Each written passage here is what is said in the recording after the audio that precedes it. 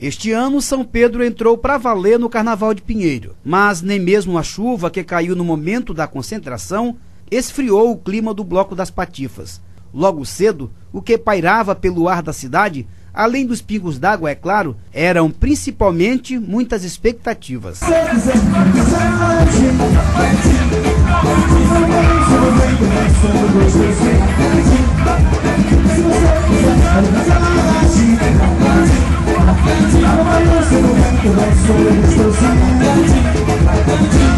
A festa começou na Praça São José, ainda era de manhã. Foi a primeira vez que o Bloco das Patifas saiu daqui. O percurso mais longo sempre foi uma exigência dos foliões. O Bloco das Patifas sai na avenida há 13 anos, sempre na terça-feira de carnaval. As patifas, na verdade, são homens vestidos de mulher, e elas, para não ficarem de fora, também buscam suas fantasias, ou se caracterizam de homens, para não perderem seu par.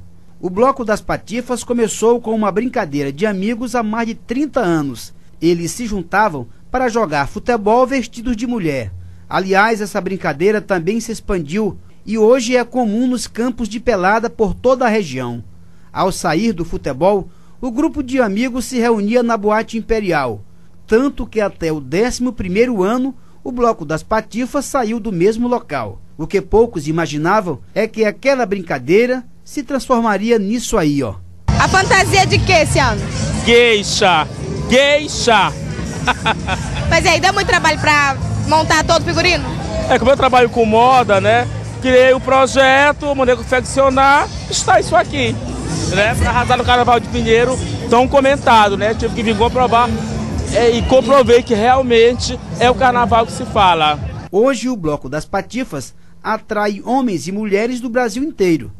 A Polícia Militar estima que mais de 80 mil pessoas estiveram no Bloco das Patifas este ano. Três bandas animaram o percurso. A novidade este ano foi a banda Bandida.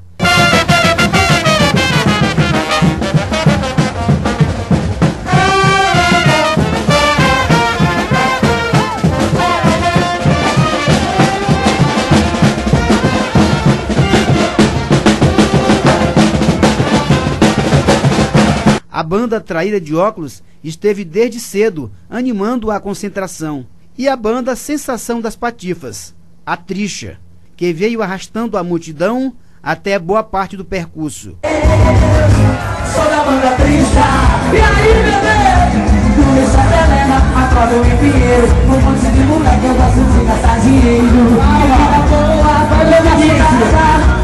Que começou pela manhã entrou à noite. As patifas mostraram seus modelitos e ficaram na história do Carnaval de Pinheiro e do maior bloco de homens vestidos de mulher do Brasil. As patifas caminharam quase 10 quilômetros. O bloco encerrou na Praça José Sarney, onde as patifas foram recepcionadas pela banda Tricha.